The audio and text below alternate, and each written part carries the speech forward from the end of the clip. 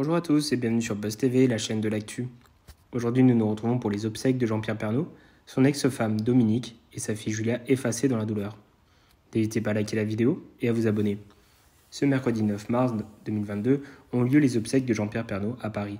La très discrète ex-femme du journaliste Dominique Bonnet a fait une apparition pour lui rendre hommage, non loin de leurs deux enfants, Olivier et Julia. C'est toute la France qui est endeuillée depuis le 2 mars. C'est le jour-là, la mort de Jean-Pierre Pernaud a été annoncée à travers un communiqué officiel. Le journaliste qui a passé 33 ans à présenter le trésor du TF1 souffrait d'un cancer du poumon. Mais d'après les informations relayées après son décès, il serait mort des suites d'une opération du cœur faite en urgence, laquelle avait plongé le journaliste dans le coma. Jean-Pierre Pernaud laisse derrière lui une grande famille recomposée qui compte sa femme Nathalie Marquet et leurs deux enfants. Peu d'informations sont connues du grand public sur Dominique Bonnet, si ce n'est qu'elle est la mère des deux aînés, Olivier et Julia.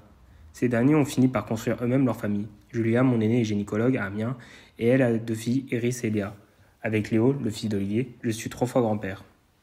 Très discrète tout au long de leur relation et même après leur rupture, Dominique Bonnet est sortie de sa réserve ce mercredi 9 mars. Elle a en effet accepté de se rendre aux obsèques de son ex-mari, lesquels sont déroulés à la basilique de Saint-Clotilde dans le 7e arrondissement.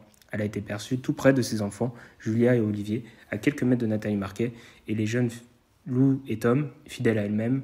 Dominique Bonnet est resté un peu plus discret, entouré de sa famille mais toujours en retrait. Idem pour sa fille Julia, présente mais effacée. De son côté, Olivier est venu avec sa compagne Catherine Duprat et leur fils Léo. Là aussi, la petite famille est restée en retrait, laissant place à la femme et désormais veuve de Jean-Pierre Pernaud, ainsi qu'à ses plus jeunes enfants.